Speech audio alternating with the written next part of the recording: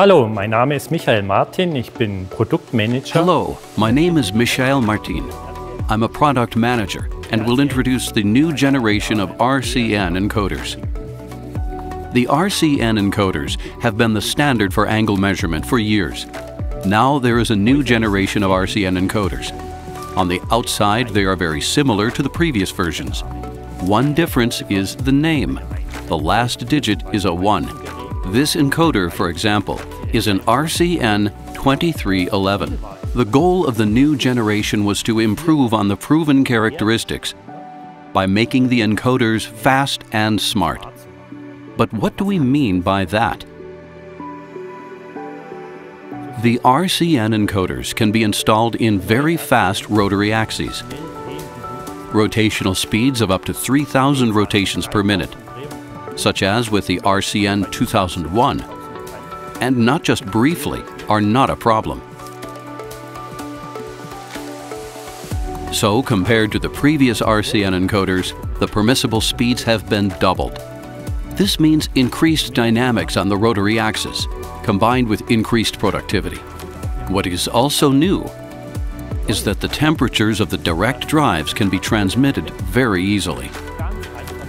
Together with the EIB 5211, which you can see here, the three winding temperatures can be digitalized and evaluated smartly and transmitted to the control together with the position information. An die Steuerung übertragen werden. Some advantages. Less wiring is needed and better utilization of the direct drive regarding accuracy. For a long time already, the RCN encoders have been a synonym for accuracy. The same applies to the new generation. The encoders exhibit accuracy grades of 1, 2, and 4 arc seconds. With the high line count and signal quality, these are simply the ideal encoders, especially in combination with direct drives. At this point, I also want to mention that the new RCN encoders have a new scanning method, a smart scanning method. This means that severe contamination and large condensation droplets in the encoder have almost no influence on the scanning signals, and thus on the behavior of the drive.